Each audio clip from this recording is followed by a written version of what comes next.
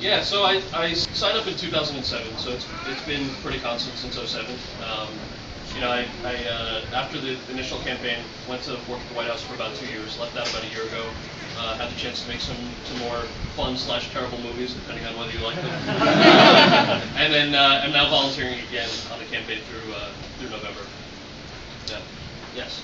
Um, you use the word negotiations when you're talking about Obama and Boehner. Um, now, there's a lot of um, issues in the past four years on things not getting passed and there being stalemates going on, at least in Wisconsin. There was a point where the Democrats walked out altogether. Um, how does the president plan on working with the other parties to actually make things happen? Good question. So we've seen a lot of success on this realm too. Um, I'm not as familiar with state politics, obviously, as I am with uh, the president's policies. But one thing that this is something that shocked me. So especially as an independent, you know, I continue to have a lot of faith in the president. When I got to D.C. Um, a couple of weeks basically after I started my job, uh, one of the Republican senators, uh, Mitch McConnell, uh, was doing an interview and he said that his number one priority was to make sure President Obama fails. And I thought that was very strange because I, I was thinking like jobs, finding Bin Laden, you know, or, uh, and he said his number one priority is sure the president fails. And I think that was the first time I realized how like the nature and contentious nature of political parties sort of inflating work.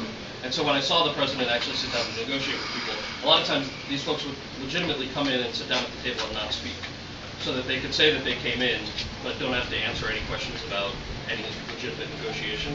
Um, I think part of part of this is you know actually having uh, folks on the right and the left who are willing to have those conversations, and seeing you know someone like the president saying you know I'll have a beer with you over this, or come come play golf if you don't actually want to sit down and talk about it. But I think that's just a question of character on both sides, and certainly on both sides of the aisle, there's plenty of room for, uh, criticism depending on what issue you're talking about. But in addition to sort of all of those uh, pieces of legislation that were blocked, what I was really impressed with was the way that the president and vice president were able to wrangle enough votes to get all the things passed that we did pass. So, uh, you know, on the environment front, uh, things like fuel mileage standards, which was so historic and never happened before.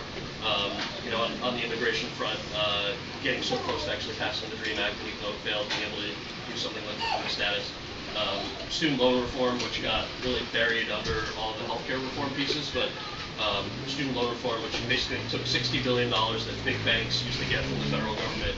They would mark up the money and loan it out to the young people, so getting rid of the middleman in student lending uh, allows a lot more money to the young people. So these are all things that he was able to pass. Um, and I guess playing devil's advocate, the it's good that we don't live in a dictatorship, so that there is like push and pull. But I would agree with you that there's a point after which push and pull becomes a little ridiculous, and you want people to have a rational conversation. I've had the chance to see do that, so I'm hopeful that that'll. Because both parties are both lobbying to get, I guess, their laws, their bills passed. Right. So it's a little frustrating seeing if nothing happens. Well, I wouldn't say nothing's happened at all. I would say not nothing. A lot of amazing things have happened. There's a great video you should check out um, that if I remember to tweet the link to, I can do that. But it's it's on the White House website. The president sat down with um, six young Democrats, six young Republicans, and four young independents in Boston like a year and a half ago. Um, and uh, we happen to have our video crew, so none of his remarks were scripted. He was thinking taking questions. And a young Republican said, "How do you, you know, how do you feel about people who say they're disappointed in the pace of progress?" Um, and he, way more eloquently than I will tell you right now, was basically outlining like you know, if, if we only talk to people who disagree with us, then politics is always going to disappoint you. And the whole point is that you're never going to get 100% of what you want. So you, you have to sit down and actually talk to people and figure out how to get that done. And I think that if we expect 100%, then we're always going to be disappointed. But we also shouldn't expect 40%. We should actually look at, you know, if you're if you're talking about a budget negotiation, if you're talking about something like, you know, the president doubled the Pell Grant um, and fought really hard to get that done. I don't know what other concessions have to be made budgetarily, uh, but I know that you know we were just talking about the president goes through the budget with a essentially with a scalpel. So not bludgeoning programs, but saying, okay, in order to increase this, what do we have to decrease? Are there federal programs that aren't making sense? Um, things like that. So I think looking at it with that kind of nuanced perspective, know, knowing that that's how he goes about it, has been helpful. Just for me, having never worked in politics before and getting thrown into it, um, realizing exactly what's at stake.